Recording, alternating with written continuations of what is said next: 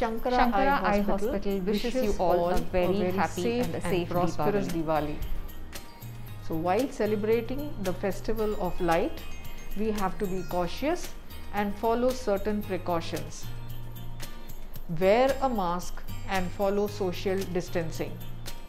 While lighting firework, maintain a safe distance from your cloth and mask.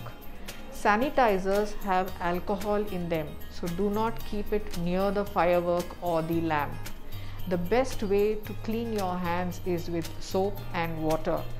Before touching any object, ensure that you wash your hands and touch your face.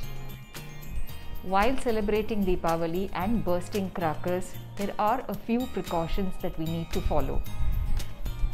Wear protective eyewear while bursting crackers.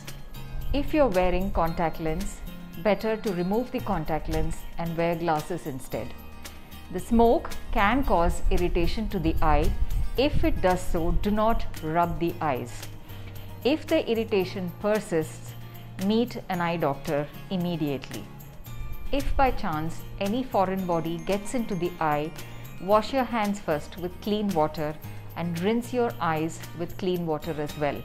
Do not rub your eyes.